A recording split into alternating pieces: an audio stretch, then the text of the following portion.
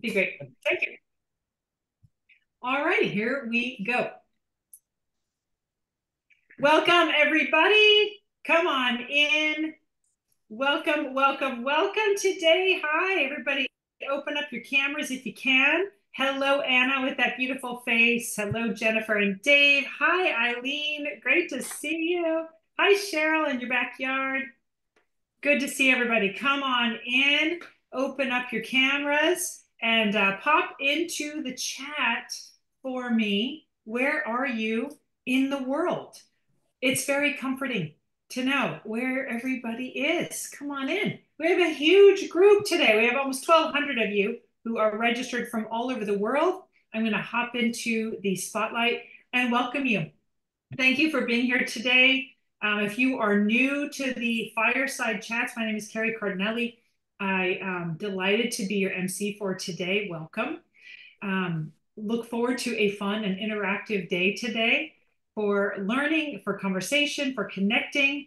Um, if you are new, please let me know in the chat. This is your first time to be here at these events. We'll be sending a recording to everybody uh, within 24 hours this afternoon, so you'll have that. Welcome your first time. Welcome, welcome. Love having you here.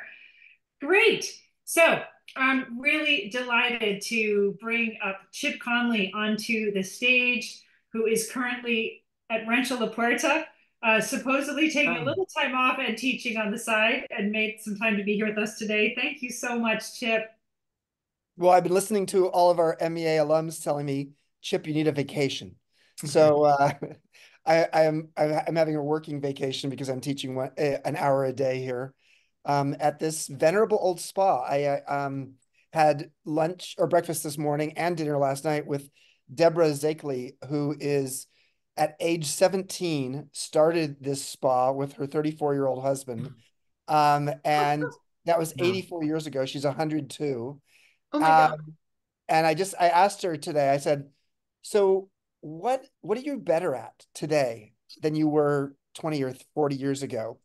And she said, "I'm a I'm a better listener, which is something we talk about at MEA in terms of our listening skills maybe improving with age. Knowledge speaks and wisdom listens." Um, and then she said, "I'm better at speaking my mind, which is a which is perfect for Ellen today because I love Ellen because she speaks her mind. Um, and so she Deborah said, better or worse.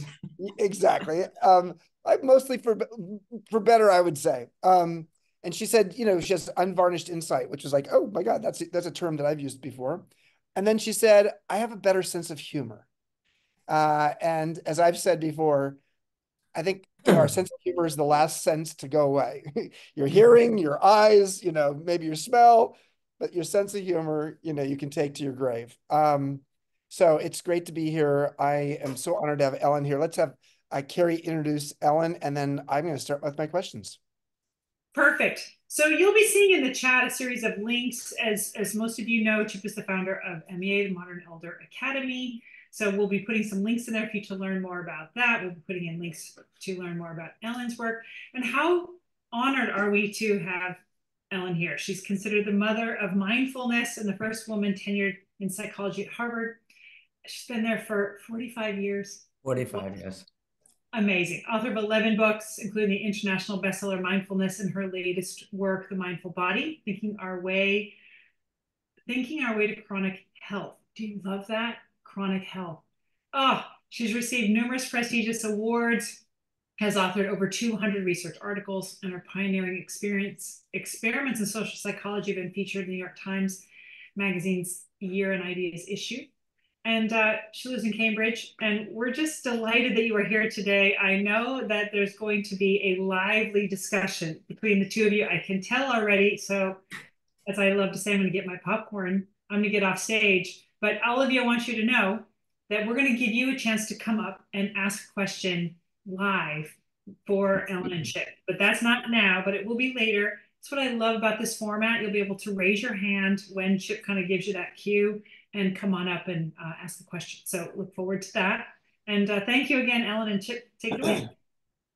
Yes, thank you, Carrie. Uh, we wouldn't be here without you. Ellen, honored to have you here. Um, we had Gloria Steinem two weeks ago now we have you we're you know we're getting all of the the best um, of the female intelligentsia. Um, and I just want to say to you, um, you have been long been somebody I've admired because of your counterclockwise experiment that you did long ago. So let's start with that, I, and then we'll come. We'll go next to your your newest book. But I want people to understand this this um, this uh, ex experiment may not be the right thing. Uh, the no, research, it was an experiment. It was an experiment that you did in in uh, in the Northeast and maybe New Hampshire or somewhere like that uh, with some men, and talk about what you did. Talk about how long ago this was yeah, and, it's interesting how long it takes for something to get out there in the world. Yeah. But if anybody um, is curious uh, or wants somebody else to know about the study, all they have to do is go to The Simpsons Go to Havana. and that's when you know you've made it, when The Simpsons talk about your work. Um, yeah, so the study was run in um, uh, 1979 and I published it in 1980 or 81, so um, a long time ago. And the idea, this was the first test of my idea of mind-body unity. Now, to give it some background, you know, people think you have a mind, you have a body, and, and that's fine because for most people, what's the difference? But for me, the question is, if you have these two things, how do they talk to each other? How do you get from a fuzzy thing called a thought to something material called the body? And we've all we all know that there you know there's a relationship. You walk down the street and all of a sudden a leaf blows in your face you get startled your blood pressure increases and so on until you see it was just a leaf. All right. Um, and i had let me tell you this is fun for me. Um, a very early experience. I didn't have the theory born at this time um, but this was the first hint of what was to come later in my life. So I was married. This book, by the way, The Mindful Body, started as a memoir. So there are lots of very personal stories in it. One of these stories, I was married when I was obscenely young. So I was 19 going on 40. Um, we went to Paris for our honeymoon and we're in a restaurant and I order a mixed grill. On the mixed grill was pancreas. And I said to my then husband, which of these is pancreas? He was more sophisticated than I, and he pointed that over there. So I ate everything with gusto. And now comes the moment of truth. Now, I still can't understand why at 19 I thought that I had to eat the pancreas because now I was all grown up, but still, that's okay. So now I'm going to eat that pancreas. I start eating it and I literally become sick. He then starts laughing said, What are you laughing at? He said, That's chicken. You ate the pancreas a long time ago. All right. So I had made myself sick. I actually let me interrupt myself with a second pancreas story. I'm probably the only one you know has two pancreas stories. So my mother had breast cancer. It had metastasized to her pancreas. As you know, that's the end game. All right. Now, all of a sudden, it was totally gone. And the medical world couldn't explain it. And the mind body unity theory that I'll explain in a moment can explain it. So here we had, you know, I had made myself sick. My mother somehow had made herself well. And eventually this would show up in this uh, mind body unity idea. So I thought, mind body, these are just words. You know, if I had decided way back before Descartes, I would have had mind, body, and elbows to make it interesting. Okay. So let's take the mind and the body and you put it back together and it's one thing. Then wherever you're putting the mind, you're simultaneously putting the body. So I have lots of studies that I report on the mindful body um, to test this unity. Now, the world has caught up a little bit. You know, I don't know if you're aware that um, just a few decades ago, the medical world thought uh, that the only way you could get sick was the introduction of a pathogen you know, I'm sure they wanted everyone to be happy, but whether you're stressed, happy was irrelevant to your physical health. Okay, so now they've come a distance and they talk about a mind body connection. And I'm sure I had something to do with that, but how were they connected? You have the same problem as having two distinct things. Right? If it's one thing, uh, the problem is solved. Okay, so we take these old men to a timeless retreat that we retrofitted to 20 years earlier and we had them live there as if they were their younger selves. So how old were they? They were um, um, 80, around 80, uh, you know, okay. morals. And this was, remember, years ago when 80 wasn't the new 60.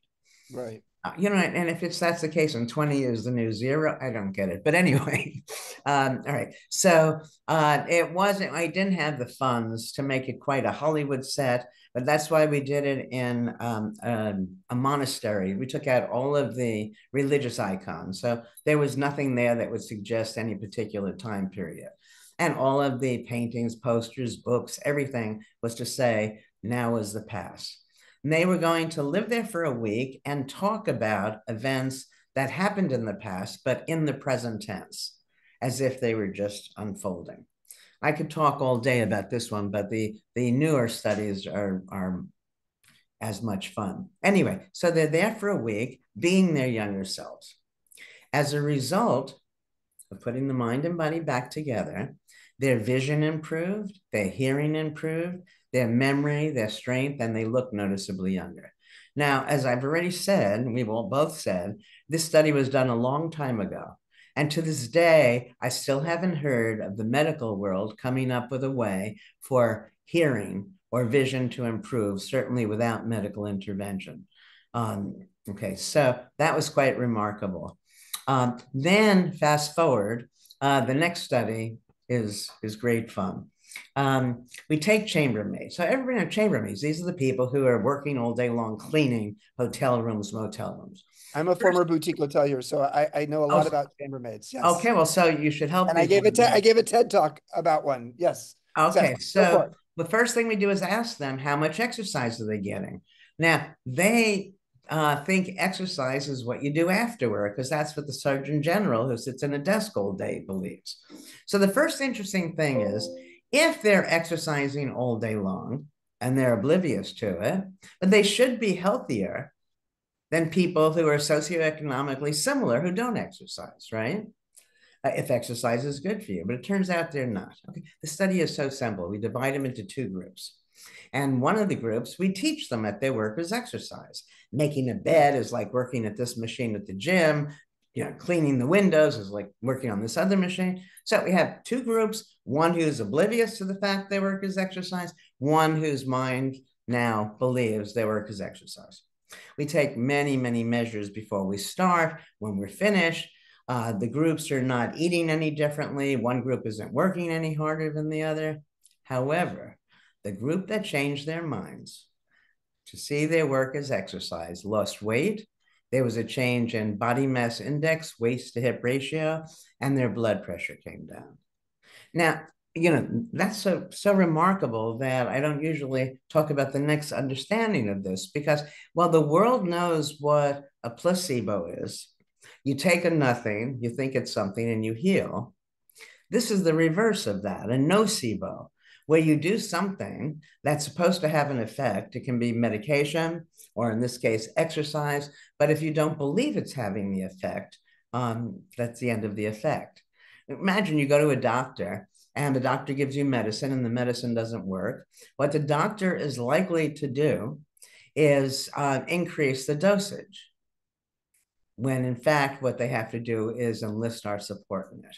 But anyway, those are measures, you know, this is an important study in mind body unity and placebo itself this is our best medication, a placebo. But because of the pharmaceutical world, you know, just think they do a study, they want to bring a drug to market, make a lot of money. They can't bring the drug to market if that damn placebo is just as good. So hmm. placebos have gotten a bad rap, but it's our most effective medicine, I believe. I have so many of these studies. Let me just give you, I'll give you maybe two more but you should read the book because they're they're fun. All right. So um, we inflict a wound. I'm not a sadist. Even if I were, the powers that be wouldn't let me really hurt people, but it's a wound, a little wound. And we have people individually sitting in front of a clock. Unbeknownst to them, the clock is rigged. For a third of the people, the clock is going twice as fast as real time. For a third of the people, it's going half as fast as real time. For a third of the people, it's real time. Now, before I told you this, I'm sure all of you believe the stupid wound is going to heal when it heals. No, the wound heals based on perceived time, clock time. We have people in a sleep lab, they wake up, I'm big on clocks. So the clock tells them they got two hours more sleep than they got, two hours fewer, or the amount of sleep they got. Biological and cognitive functions follow perceived amount of sleep. So lots of evidence of mind-body unity, not just from, from our labs. There's this is this will really surprise you. um, there are people who've studied imagined exercise. So you know, imagine you're going like this. That's for real or you're just imagining yourself doing that. The results are the same. It's phenomenal, right? How about if I imagine that I'm going to lose 10 pounds? And- I don't know, possibly, possibly because but remember, remember, most people can't easily imagine these things because you know, as you say it, you're telling yourself also that's ridiculous. Yeah, and it's not going to work with this partial belief. Well, let me. So, so, so this is first of all, I just love having you here because um, the idea of mindset is a foundational part of our MEA workshops, um, and so uh, you know, so every one of our workshops that we do, and we've done about 160, 165 of them now, um, are specifically focused on you know growth and fixed mindset, etc. Well, this was this was preceded all that work, you know. That's right. That's right. Um, but talk for a minute that about ego slips out every once in a while. Listen, Ellen, you you you're you you deserve to be able to speak about it. Um, so talk about Becca Levy's work. Becca um, was my student, you know. Okay, so Becca, so we talk about Becca all the time, and Be- Becca's the seven and a half years. Yeah. Uh, based upon the research she'd done, you know, previously in Ohio. I mean, she didn't mm-hmm. it, but there was there was data on this. So talk about that and and to, and maybe talk a little bit about the, the prescriptive value of what what can you do to shift your mindset from a negative to a positive when it comes to getting older. Well, there are so many things. I don't know where to start. Um, you know that um, when you assume you can't do something, you know, there's no science that can show that you can't. Um, and so most of our debilities are a function of our, our mindsets, our beliefs. And so, you know, so let's say for argument's sake that I'm 77. That's not for argument's sake. I am 77. I can argue it. Um, and, you know, and I hurt my wrist. Well, if I'm like many older people, they don't do anything about it because after all, you know, when you get older, you, you just fall apart, right? Now, Carrie uh, is much younger. If Carrie hurts her wrist, she knows her wrist isn't supposed to hurt, so she does things. So then down the road, when her wrist is fine and mine is not, um, it has nothing to do with our age. I teach Harvard students, and um, I give this lecture on aging. And uh, before I do this, I start and I ask them, so the, the classmates on Tuesday and Thursday, and I say, What was the last thing I said on Tuesday? These are Harvard students, they're young kids, they're the smartest, they have no idea. Right? And that's the beginning to say, Yes, you are also not infrequently forgetful. The major difference is when you don't remember you don't worry about it. Okay, so now there are lots of things that change as you get older, you know, and and you mentioned that uh, before we were talking to other people, some of the things you you just or you, you just don't care about some of the, the things you worried about before. So when I was a young up and coming, and let's say you're introducing me to five important people, I'm going to learn their names.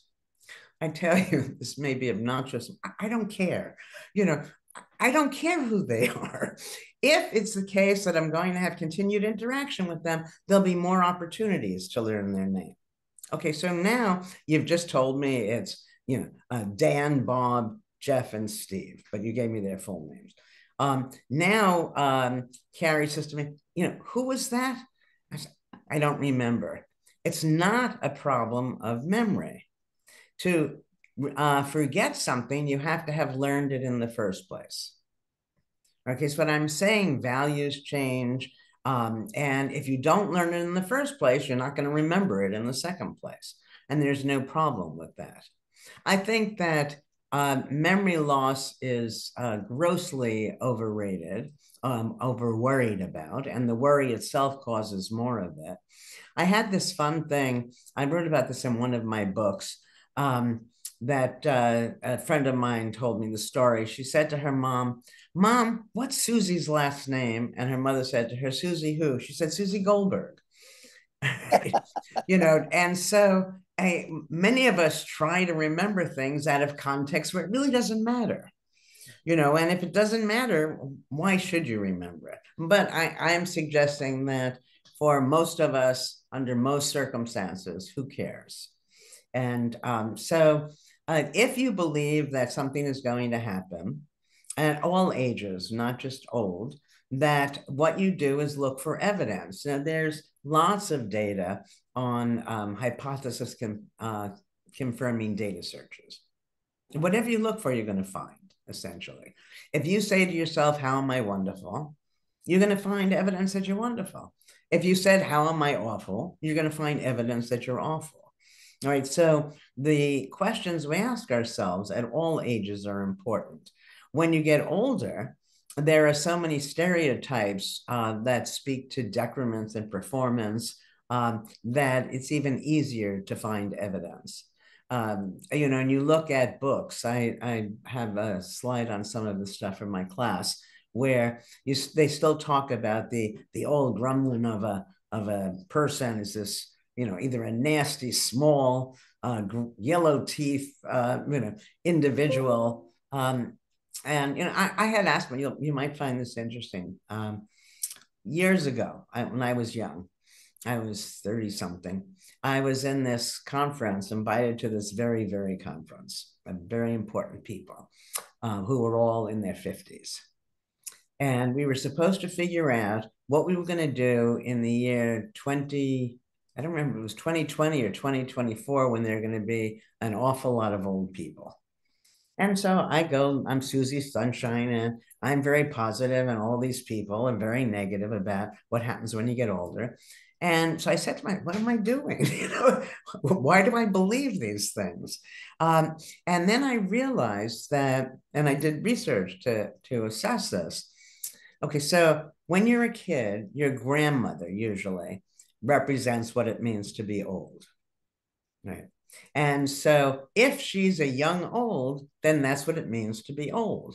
And that's what my grandmother was. So I tested this by looking at people who lived with their grandmother first when they were little. I'm making this up now, four years, five years old, I don't remember, versus those who first lived with their grandmother when they were 12 years old. Now, for the five or let's say the seven year old, the grandmother is younger, you're smaller, so the grandmother is bigger, more vibrant than when you're. And then we go and we take people who who lived with their grandmother, either you know younger or older, um, and see how they age themselves. And those who had the younger image of the grandmother themselves aged better. They were more active, more alert. So, you know, we, we take pictures of, and, and people, to, to go back to the hypothesis can data firming idea, that people think they can tell how old somebody is. So what happens is when you see somebody that looks old, you think they're old. The person could be young, just not having taken much care of themselves. Or the person could be um, old, looking very young. But each time you see the person, you're confirming your stereotype about what an old person looks like. Is that well? Yes, and and so for our community here listening in, do you like what are what are some tips to have a, a different perspective on a different mindset on aging? So yeah, well, um, I think that as soon as you say you can't, you should say, How do I know that? And you should try it. I think people have a misconception about what a successful life is you know, oh, if only I could do whatever that thing, you know. So let's say playing golf, that if only I could keep getting a hole in one. Well, if you got a hole in one, complete success, every time you swung the club, there'd be no game. Hmm. So the degree of success we look for would not actually be good for us. You take a little kid, and the kid is in the elevator. We've all been in there, and uh, wants to press the elevator button, but isn't tall enough. So your mother or father picks you up, and you press the elevator. And then the next time you're in the elevator, it's the same thing. You're getting a little taller, and you know, still great fun. Then comes a time where look, you can press the button yourself. So what happens? How many of you have been excited about being in elevators? Right? You know, so once you, so you can either perform tasks perfectly mindlessly or imperfectly mindfully. So we shouldn't be so upset um, with being imperfect. Imperfect gives us an opportunity to experience what it's like to to master things, to um, you know, and others have said before me that it's the journey that matters. This is just another way of putting it. All right. So what I'm suggesting is uh, all the things you think you can't do because you're old. Um, and now, actually, there are so many people who break that stereotype. The, all you need to do is say, you know, I don't know, are there any old skiers? I say, oh, look at that. My God, that guy's 10 years older than I am. Are there any old people running marathons? You know, and go through the list and say, well, if they can do it, you know, then maybe we can do it. Then I have this um, uh, I don't know what I'll call it, but strategy, for lack of the, the right word, um, is um, uh, about Zeno. Okay, so I don't know if you know Zeno's paradox with respect to distance is if you always go half the distance, you're never going to get to where you want to go. So let's make it easy. You're a foot away from where you want to be. Then you're a half a foot. Then you're a quarter of a foot. Then you're an eighth. You never get there. I said, Zeno was a you know, a cynic. I said, so here's Ellen's reverse Zeno's paradox. Whatever you want to do, there's always a step small enough from where you are to where you want to be to get there. So, you know, you've talked about losing weight. So you eat a box of cookies a day. Okay. And you can't get yourself to stop. Well, so eat half a box. You can't eat half a box, eat a quarter of a box less. You can't eat, a, everybody can eat one crumb less. All right. And so then you're on your path um, you know, and the the journey again is what's exciting. Once you get there, you know, I mean, I, I recently lost a fair amount of weight. It was very exciting for a little while. Okay, so now it's no longer because I need something else to keep me busy. You know, that um, uh, I think, okay, so when you see yourself as old, you say, oh, my hearing is gone. Well, I wanted to do the study. I, I never did this. uh, nobody in the world agrees with this. But I think that there's a great advantage to becoming hard of hearing. You get to a certain point in life, you see nobody is saying anything anyway. and so all of the talk that you're missing, you know, no longer distracts you. I don't know if there's any truth to that, but well, it is the case that there's an upside often hidden to whatever we see as a debility. Yes, I think There's definitely some research that shows someone who's hard of hearing is better at seeing, and that they actually. They... Okay, well, I talk. Yeah, I talk about that in the mindful body because if it's the case that our seeing can improve, why do we have to lose our hearing for our seeing to improve? Yeah. Why do we have to lose our hearing for our seeing to improve? Right. It says these things are not fixed. And, you know, uh, so I have a lot of respect for my colleagues but as a rule, they take things that are down here and they can move them to here, make them a little. To me, and I talk about this in the book, there's a better than better way for almost everything. Let me give you an example. This one is kind of fun. I'm very sensitive to language. This comes out of that. Many years ago, I was asked to give a sermon at one of the Harvard hospitals, um, one of the Harvard um, Good. Okay, Church. rest it. yeah. And you know, okay, I'm bye. I'm Jewish and I'm not very religious. So um, this was going to be an unusual thing. And I said yes, because I tend to say yes to everything. Okay. So now what am I going to talk about? I have no idea. And I'm thinking, then I come up with, well, maybe I'll talk about forgiveness. It's not religion, but I think I could get away with it. Okay. So I start to think about uh, forgiveness. And what I come up with is almost sacrilegious. All right. So here it goes.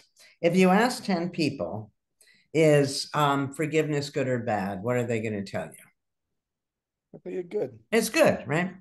If you ask 10 people, is blame good or bad? What are they going to tell you? It's bad. It's bad. But wait a second. You have to blame before you forgive. Well, that's interesting right there. Our forgivers are our blamers. Okay, now, do you blame people for good things or bad things? You blame people for bad things, but things in and of themselves are neither good nor bad. It's our framing of things that make it so. All right. Um, that means people who see the world negatively blame and then forgive. And I think that's hardly divine. Um, that certainly if you blame, you're better off forgiving. So that's, you know, people start off the blamers and then therapists and whoever else, lots of psychologists study forgiveness. Forgiveness is better. There's a whole other way of being in this world. Okay, so if, and this, it's so funny, Chip, that, or know it's funny, it's important to me. You know, I have lots of life and death findings. I have findings where, you know, we've helped people with all sorts of chronic illnesses and so on. But this is the most important thing in the 45 years I've been doing this um, that I've come up with. So simple. Behavior makes sense from the actor's perspective, or else the actor wouldn't do it. Nobody wakes up in the morning and says, you know, today I'm going to be aggressive, obnoxious, and clumsy. Okay, so when people are, are being that way, what's behind it? So the reason this is so important, so let's take me. So I am very gullible.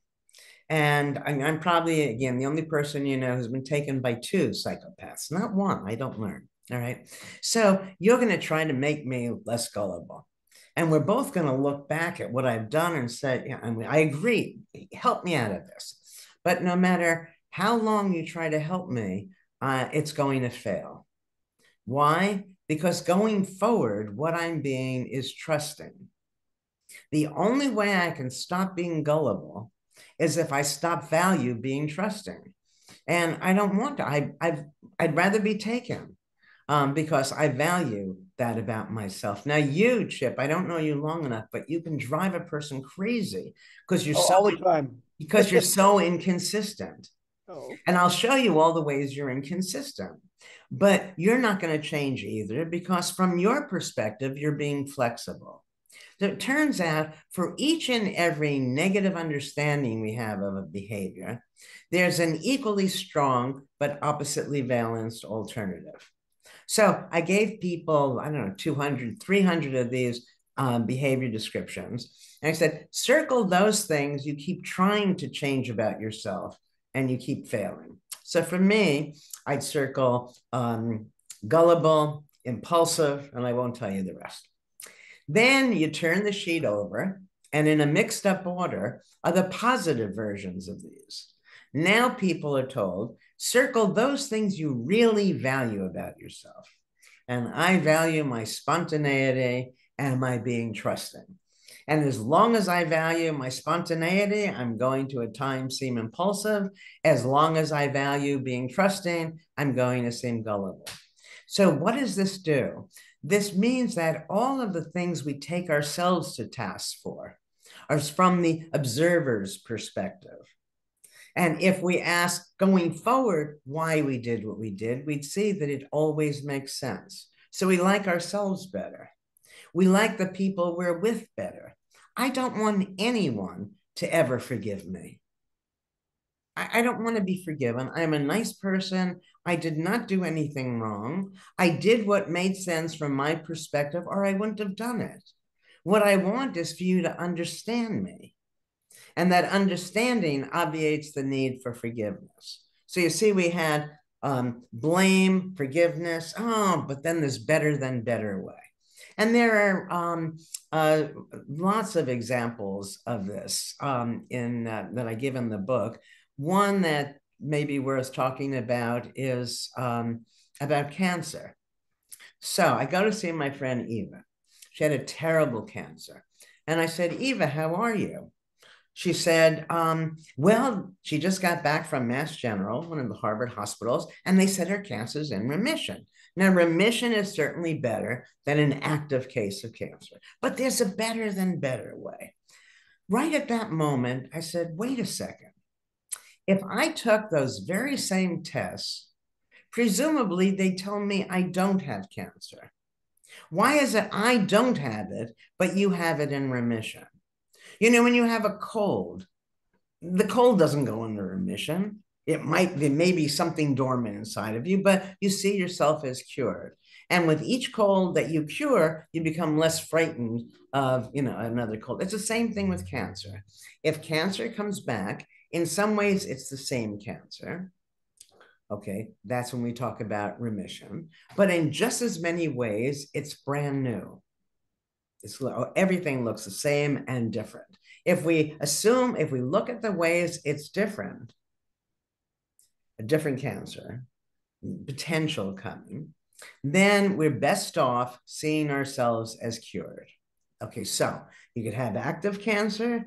You could see the cancer is in remission. That's better. Better still is seeing yourself as cured. Now, I've been fighting with the medical world. I say I wouldn't put these things out there without double checking, you know. So the first thing I did with this idea was I called Susan Love, and when she was alive, she was leading breast cancer expert. And I said, I don't want to endanger anybody, but it seems to me, and she said, no, she tells all of her patients, um, where others might say they're in remission that they cured. Okay. So what happens? A woman has breast cancer. The breast cancer goes into remission, and the medical world then says, we're going to wait five years until we give you a clean bill of health. I want to know on um, what data that's based. And no one has been able to tell me. It just seems like it's pretty good. And then they're, they're you know, saving themselves. But I believe, and this is a, a big one, I believe stress is the major killer. Yep. Much bigger than most people would assume. Everybody now knows stress is bad for you. I believe that if we took oh you know 500 people with you know test three different kinds um, five different kinds of cancers and you tell somebody they have cancer nobody's going to be happy. So let's give them three weeks to adjust. And then we measure their stress level once a month or every three weeks whatever. I believe that stress level will determine the course of disease over and above genetics, nutrition, and even treatment. Now, everybody knows stress isn't good for you. Stress is psychological. Stress is not a function of events. Structure, stress is a function of the view you take of events. You open it up and uh, recognize things in a more mindful way. It can be many different things. Stress dissipate. Let me throw a one liner for those of you.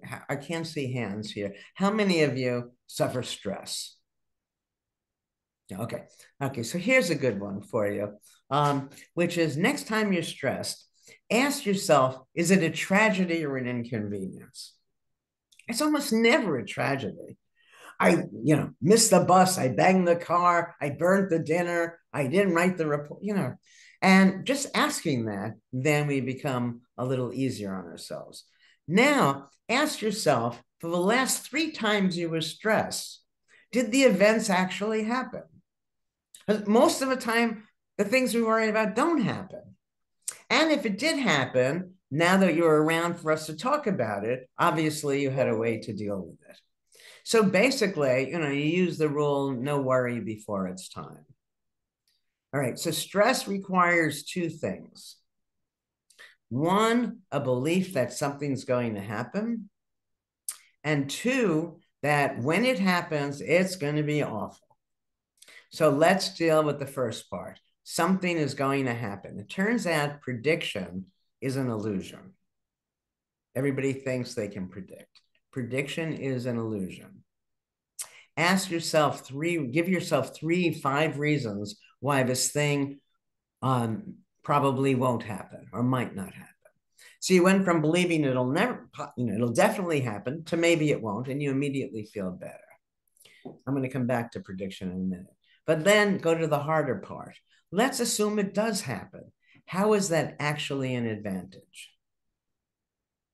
You know, you're worried you're going to be fired. Nobody in this group, but that's one of the things people worry about. Well, could you imagine? I can't. Being at a job, you show up for 40 hours every week and you're hating it. The best thing in the world for most of these people would be something that pushes them to, you know, to redesign their lives. And a story I tell in the book, um, because you can say, well, come on, Ellen, I'm you and you're, you know, living in the stratosphere. What do you know? Okay, so I had this major fire that destroyed 80% of what I owned. Um, I get home one day from a dinner at a friend's house. All my neighbors are outside, which was itself lovely. This was in the middle of the winter. Um, so I wouldn't have to face this alone. I call the insurance agent the next day and I tell him, he comes and he said it was the first time in his career that the damage was worse than the call. Everybody, oh my God, oh my God. And he gets there and it's not so bad. But for me, I had already lost the things. Throwing my sanity away after it was not going to be useful. Um, okay, so now I go to the Charles Hotel because I don't have a place to live and I'm a sight to be seen with my two little dogs. And I'm needing to say hello to everybody all the time. So people knew who I was. Okay. So now it's Christmas Eve. I leave to go out with friends on Christmas Eve.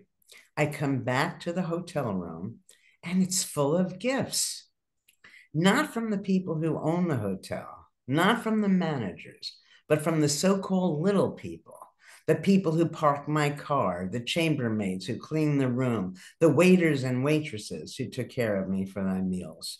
I, I, it took me years to be able to tell that story without it making me cry, happy tears. Every Christmas, I'm reminded about the goodness of so many people out there. And except for one thing, I don't remember anything that I lost in that fire. Mm-hmm. I'll tell you that one thing. All right, so this is Christmas in January. Um, semester is going to begin again, and I have to teach a large lecture class, and my notes were all destroyed. I didn't want to go to my colleagues and have somebody else teach it. You know, nobody would have been able to um, on such short notice. I didn't want to screw the department and just cancel the course. It's a big course. So I'm going to teach this course. How am I going to teach this course when I don't have any of my materials? Then I get this idea. it was a great idea. I called one of the students who got an A in the course the last time I taught it. And I borrowed that student's notes. it's like a game of telephone.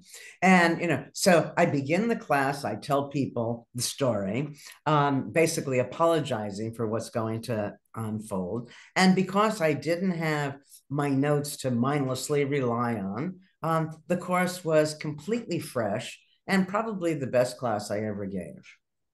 Mm. Well, um, so uh, you know, this is a cliche, but turning lemons into lemonade seems to be yes a big piece of your thinking. We are going to open it up for questions in just a moment. But um, let me, but let me go back. Can I go back to one thing, Chip? Because I threw something out, and I don't think people fully appreciate it. When I say we can't predict, now um, if you were going to, let's say, uh, Michael Jordan and I are going to take foul shots, okay? If we're shooting 20 foul shots, he's going to win. That's what you should bet on. You can predict it and you're likely to make money. However, if we're shooting one foul shot, you know, sometimes he misses. Sometimes he, you know, has an ache. Sometimes he has a fight with his wife, you know, whatever it is. And I often, clearly not as often as he, make it. Would you wager your entire life savings that for this one shot, he's going to win? You wouldn't do it. All right. So, what is the bottom line? We can predict to the group, we can predict the individual event. Hmm. All right. Now, for most of us, for everything that we're doing in life, we're predicting the individual. You know, it's, it's nice. You told me the surgery was successful for 80% of the people who had it great. Is it going to work for me? Right. Um, and that we can't be sure of.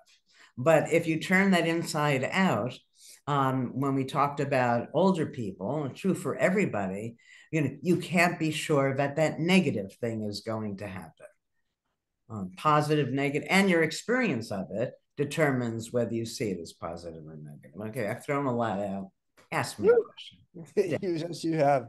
Um, Andy Raskin had his hand up. Uh, let's see if you want to actually uh, go ahead and raise your hand. You can do that at the uh, React uh, heart down below. Um, and uh, Andy, did you want to actually ask the question or not?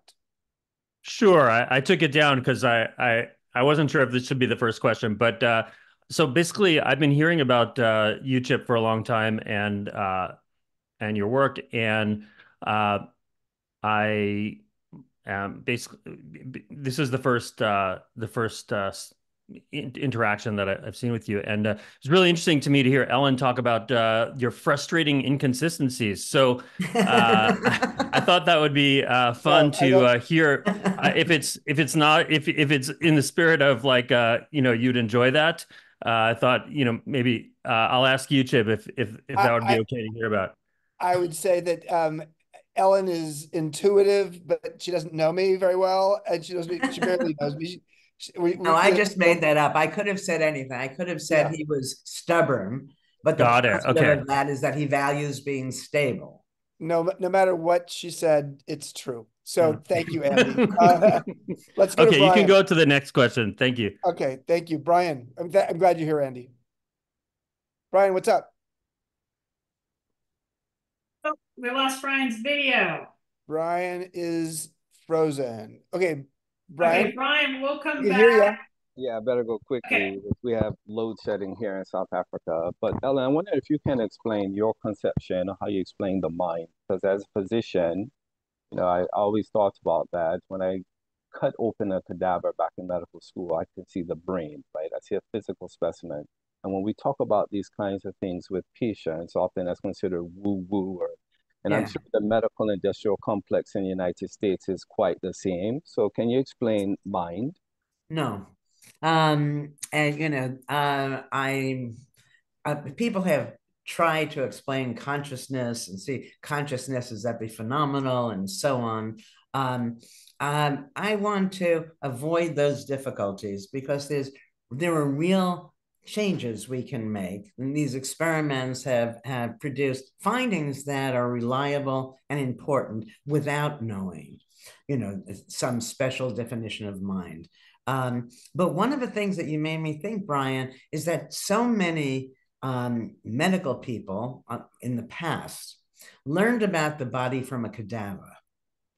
Okay. And they learn about it mindlessly, right?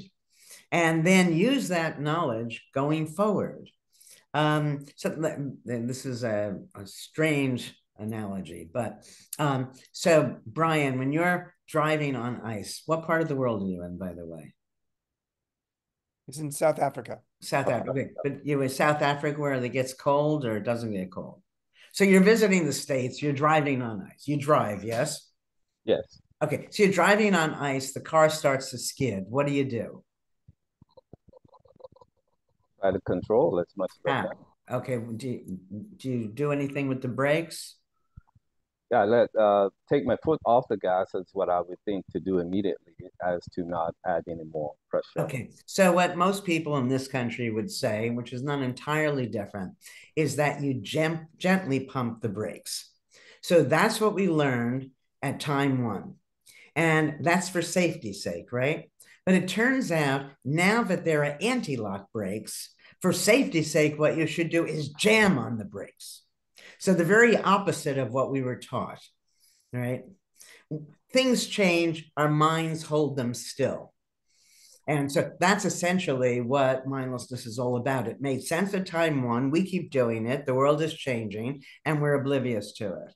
And so all of the people who've learned from cadavers, um, there are you know there are things that are um, being mislearned. You know it was the best we could do way back when. Absolutely. In fact um, i'm writing about in a chapter for a co-author research book and it's titled literally beyond the diagnosis. I always say the physician understand what they can see and and right. understand diagnosis, but there's something underneath that diagnosis in terms of yeah. what I teach what I teach people, this to me seems so important, mm-hmm. is people need to realize that science only gives us probabilities. These probabilities are translated as absolute facts. And if you know something absolutely, you just do it, you don't pay attention. So I'm at this horse event. This man asked me, Can I watch his horse for him? Because he wants to get his horse a hot dog. I'm an A plus plus student. I have to keep myself from laughing at him, right? He comes back with the hot dog and the horse ate it. And that's when I realized everything I thought I knew could be wrong. Right. And so, what I want to do is take the whole medical world and make them aware of what they don't know. And mm. when you know you don't know, you tune in. And none of us know. We can't know because everything is always changing. Everything looks different from different perspectives. Yeah. When I was uh, Ellen, just I, first of all, Brian, thank you for calling in from South Africa. Um, I I was talking with my uh, uh, my oncologist two weeks ago because I have stage three prostate cancer that spread, and he told me one day I have a twenty that based upon all my data, I had a twenty two percent chance of living another ten years. And what does that mean, Chip? Well, then you the either next... will live it or you won't live it. Well, it's like they say the twenty percent chance. Okay, go on. I was like, I I was incredulous. Like twenty two percent. That's not very good. I'm I'm sixty three. I like. What are you talking about? The next day he said, "Oh, we have some new data, and now it's eighty percent." I mean, it's a true story. People yeah, on my team know about beautiful. this. Like, are you kidding me? Yeah. I mean, like, how can you go from twenty two percent to eighty percent in one day? Yeah, well, it, it's it's newer data. It's like, well, well, people need to understand from the beginning that yeah. these are best guesses. Yeah. Yeah, yeah, yeah. And that, you know, people think, so I talk a lot about uh, chronic illness because people think when you have a chronic illness um, that things are going to stay the same or get worse. And all chronic means is the medical world doesn't have a solution. But there are many things that we can be doing with any chronic illness, not the least of which is just increase our mindfulness, our active noticing. Neurons are firing, and I have a lot of data that that's literally and figuratively enlivening. Second, what I had said to you about the um, imagined exercise.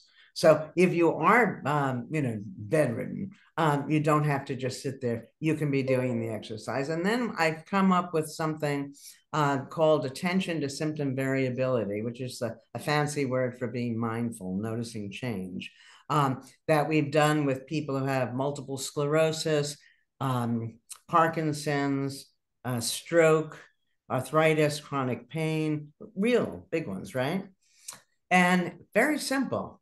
Um, that we call them periodically. You could do this for yourself. Just you know, set your phone to ring, and then you ask yourself a question first question is Is that whatever the symptom, better or worse than the last time we called, you checked in? Um, and why? That why means now you're going to increase your mindfulness. Right? Mm-hmm. So, several things happen when you do this. The first is that when you have a chronic illness, you feel helpless. Um, now, by having something to do, we eliminate part of that, and helplessness is not good for your health. Second, by noticing that the symptom is changing because you thought you were always awful. Now you say, you know, uh, that that's not true. There's some variability. Third, by asking the why question, you're doing this mindful search. It's good for you. And fourth, I believe if you're looking for a solution, you're more likely to find one than if you're not. And there are no negative side effects. Yeah. You know, and you don't, you can go to your doctor for your prostate, you know, uh, problem um, while you're doing this and maybe even give the doctor some of the information. Yeah. But um, those are big diseases where we've been able to ameliorate the, the symptoms. That's very prescriptive. Thank you. I'm gonna we're gonna go to Ken Dychtwald. I think somebody you might know. I don't know. If you Yeah, hi Ken. Yeah, there you go, Ken. Yeah. First, let me say that I've been sort of on this beat for 50 years now, and I've never encountered anyone whose thinking was more profound and clear than yours. So I, I just want to make make make that point. That um, and then I've got a very simple question for you uh, about which I'd like to hear you speculate. So when the body dies, does any part of the mind persist? Yeah, this is like the uh, the first question that Brian asked me. Very similar. Yeah, um, you know, I, I don't know. Um, Speculate. Uh, my my guess, you know, whatever my guess is, is no more informed than you know than anybody else's. Um, I think that eventually, and maybe this is some answer to it, you're saying we're going to find energy being more important, you know, and, and energy doesn't go away. Now, whether that means that when I die, I'm going to be eventually a puppy, you know, or a flower, or just in the, you know, I don't know. But, um, and and as you know better than I even, that those sorts of thoughts are very calming to older people. Um, and so, you know, we don't have any evidence against it. Why not believe it? Uh, but every belief we have should be conditional, should be who knows, maybe. And then Thank you pay some attention. What is your view of that? Throw it back at Joe. Yeah, I'm inclined to think that the body dies, but there's dimensions of the mind that get poured back into a kind of a cosmic yeah. dance. And yeah. um, it may be that I just want to believe that, or I've encountered that on as a young man. Just spent so much time at the Esalen Institute, and yeah, yeah. Well, no, no, no. I mean, I'm not. Just, okay, so let me tell you. If you read the Mindful Body, I had a whole chapter. It was called the Woo Woo chapter. my you know, publishers wanted me to get rid of, so I got rid of a lot of it, but I kept some. And but here's an experiment that we did. It's mind blowing, but speaks you know you have to stretch your mind to see how it's relevant but okay so you're sitting you're the participant and the experimenter is mindful or mindless and you all know what i mean when i say mindful you're actively noticing mindless you're like a robot depending on the past right okay so now put that aside for just one second we give people an index card so simple it says mary had a, a little lamb nobody sees the double word Nobody. Okay. Um, we say, I'll pay you for accuracy. It doesn't matter what we say, how many words were there. Mary had a little lamb, five. Okay. So now you're the participant. The experimenter is mindful or mindless, not talking to you, not doing anything, just standing next to you. When that experimenter is mindful, you see the double letter.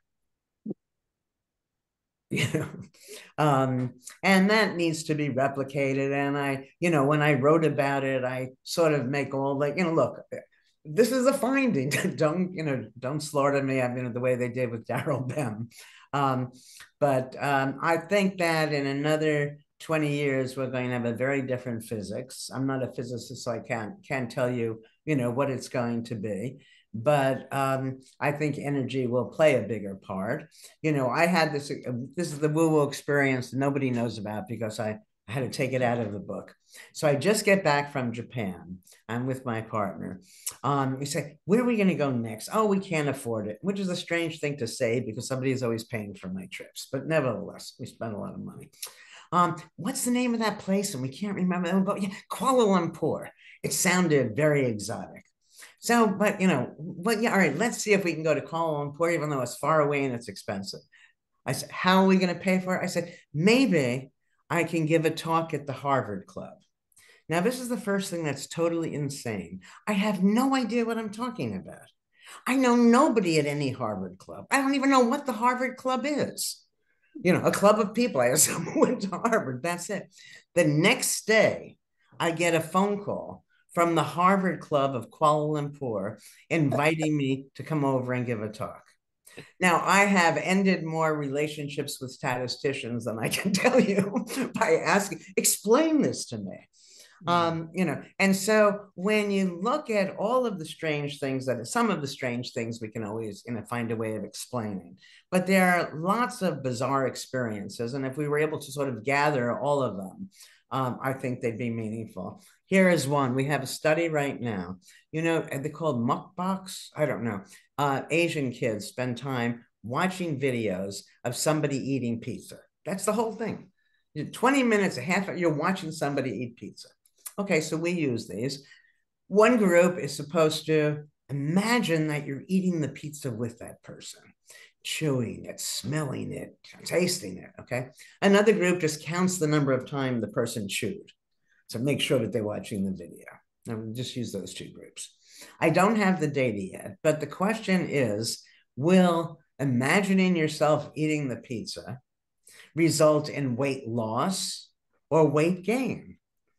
You know, weight gain most women of my age can tell you years ago, we used to say, I just have to look at a donut and I gain weight. and maybe something to that. Um, the weight loss is easier to explain. Um, and, you know, if we get, if we get the uh, uh, weight gain, that will lead and nobody's going to believe it. I'll have to do it 13 times. Somebody else will do it. And then we'll have to change part of physics. Wow. So I'm going to have to, we are at the bottom of the hour and I'm going to say thank you to um, Ash. I'm so sorry we didn't get to you next and Sembe in Japan and Art, who I'm on a podcast with tomorrow. Um, and Amanda, sorry I can't get to you. What I can say is a huge thank you to Ellen. Um, you are a force to be reckoned with. Um, we love you in our community now. You get a little sense of our global MEA community. My favorite time of the year is fall, and my favorite time of the year for both our Baja Michael, campus and our I Santa think he's Fe up in the garage. Oh, let's Teresa, let's turn you off there. Um, my favorite time of the year in both Baja and Santa Fe is the fall. So for those of you who are thinking about like, I love this conversation. I want to check out MEA workshops in the fall. Check them out on the MEA website, meawisdom.com. And Ellen, you know, maybe we're going to have you teach a workshop someday. Sure, why not? Sure, why not? Yes. She says yes to everybody, but like we'll, we'll, we'll, see about that. I, I, I will I will make the ask. But uh, I don't know if it if it's possible because I you know I can stay on a, a little while longer if uh, the people who have questions want to ask me the question. If everybody else who has to go goes, that's fine too. Oh my gosh! Well, that I mean, we You're could... so generous. We we typically do wrap right at the bottom of the hour. Um, so those of you who do have questions, perhaps you can send them in to us, but we are gonna we're gonna wrap this one up for today. Okay. Thank you so much, Ellen and Chip. What a mind-blowing, literally, conversation. I hope all of you have the sense of chronic health that you can bring with you forward into your life. We will send you the recording. You can share it with your friends. It will be also on our website. Uh, so thank you. Thank you again. beautiful, beautiful hour. Fun. Thank you, everyone. Stay well. Thank you, Ellen. Stay well. Thank you, Carrie. Bye, everyone.